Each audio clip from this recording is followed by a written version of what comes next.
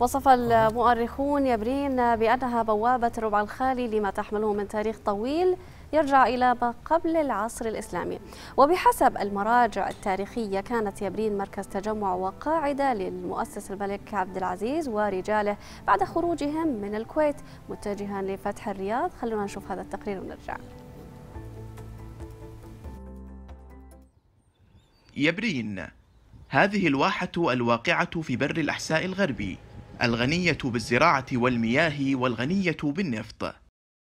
من هذه الواحة انطلق المؤسس جلالة الملك عبد العزيز طيب الله ثراه لتوحيد المملكة العربية السعودية. آه، يبرين طال عمرك كانت آه، ميناء تجاري مهم. كان أول ما توجد السيارات ولا توجد طائرات ما فيه إلا القوافل. وكانت تيجي القوافل من خليج عمان وتجي في يبرين وتمشي إلى اليمامة كانت يبرين حضارة قبل ثلاثة آلاف سنة وفيه مدافن وفيه أثار تثبت الشيء هذا. الملك عبد العزيز طال عمرك جاء من الكويت إلى يبرين. والملك عبد العزيز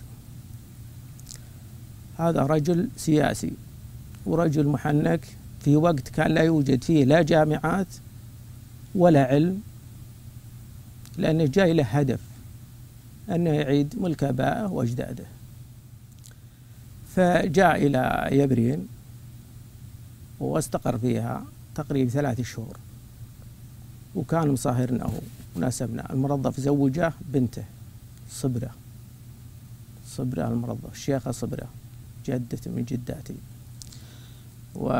وصبرة هي النخوة اللي نعتزي بها تعرف. لو قالوا لك مثلا المرضى قالوا أخوان صبرة فالملك عبد العزيز جاء هنا واستقر وأول مجلس عقده قبل فتح انطلاقته للرياض في يبرين هنا مع مرافقيه ورافقه عددا من أهالي يبرين كما يتبع لشرطة يبرين أربعة مراكز رئيسية مركز الخن ومركز أم أثلة ومركز الحفاير. ومركز يبرين. بوابة الربع الخالي. هكذا يحب أهلها أن تسمى حيث يجد فيها المارة الماء والظل والراحة. محمد المزيدي الإخبارية يبرين.